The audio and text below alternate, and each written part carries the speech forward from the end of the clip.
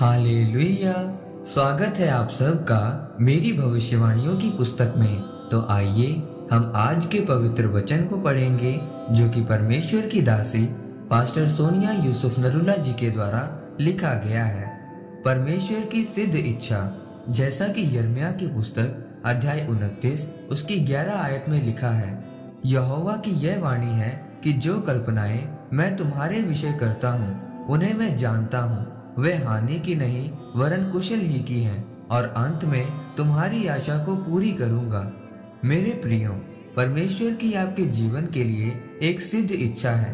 परमेश्वर के पास आपके लिए कोई भी दूसरी योजना नहीं है, लेकिन जब एक इंसान परमेश्वर की योजना पर खड़ा नहीं रह पाता तो वह उस दूसरी योजना में चला जाता है, जहाँ पर परमेश्वर की आशीषें तो होती हैं, लेकिन साथ में दुख और मुसीबतें भी होती हैं। लेकिन जो योजना और स्थान परमेश्वर आपके लिए ठहराता है, उसमें आपको सिर्फ़ आशीषें और ऊंचाइयाँ ही मिलती हैं। मेरे प्रियो, आपको परमेश्वर की सिद्ध इच्छा को अपने जीवन में पूरी करने के लिए मज़बूत विश्वास की ज़रूरत होती है।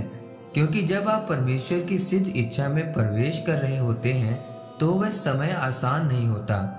क्योंकि उस समय आपके जीवन में नकारात्मक परिस्थितियाँ आती हैं। और आपका बहुत ज़्यादा विरोध होता है, ताकि आप उस सिद्ध इच्छा से दूर हो जाएँ। लेकिन जब आप मुसीबतों का सामना करते हुए आगे बढ़ते हैं तो फिर आप परमेश्वर की सिद्ध इच्छा को पूरी करते हैं मेरे प्रियो, जब आप पहला राजाओं की पुस्तक, अध्याय तेरह को पूरा पढ़ते हैं तो लिखा है कि परमेश्वर का एक नबी यहूदा से बेतेल को गया, और परमेश्वर के कहने के अनुसार राजा यरोबाम को परमेश्वर का संदेश सुनाया, जो बेतेल के विरुद्ध था।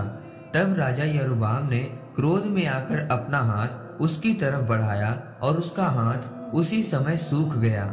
जरा सोचें कि जैसे ही राजा ने हाथ बढ़ाकर अपने लोगों को कहा कि पकड़ लो इसे तो उसका हाथ उसी समय सूख गया। परमेश्वर का आत्मा इतना उस नबी के साथ था, लेकिन परमेश्वर ने उस नबी से कहा था कि तू रास्ते में आते जाते समय ना तो कुछ खाना और ना कुछ पीना, और जिस रास्ते से तू जाएगा, उसी रास्ते से वापस मत आना।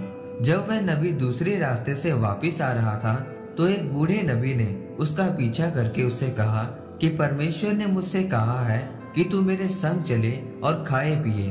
वह परमेश्वर का जन, जिसे परमेश्वर ने राजा के पास भेजा था वह परमेश्वर की सिद्ध इच्छा में नहीं रहा। उसने बूढ़े नबी के साथ जाकर खाया और पिया।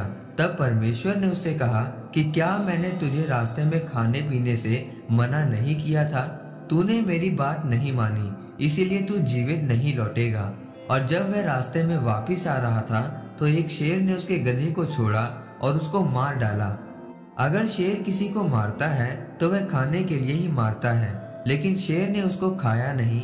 क्योंकि उस नबी का शेर के द्वारा मरना परमेश्वर की ओर से सजा थी, क्योंकि वह परमेश्वर की सिद्ध इच्छा से बाहर आ चुका था।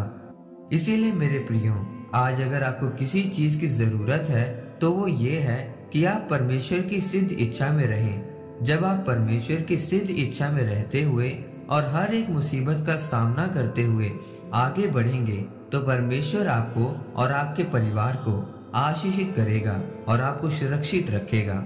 आमीन। परमेश्वर आप सबको आज के वचन के ऊपर मनन करने के द्वारा आशीषित करें। आमीन।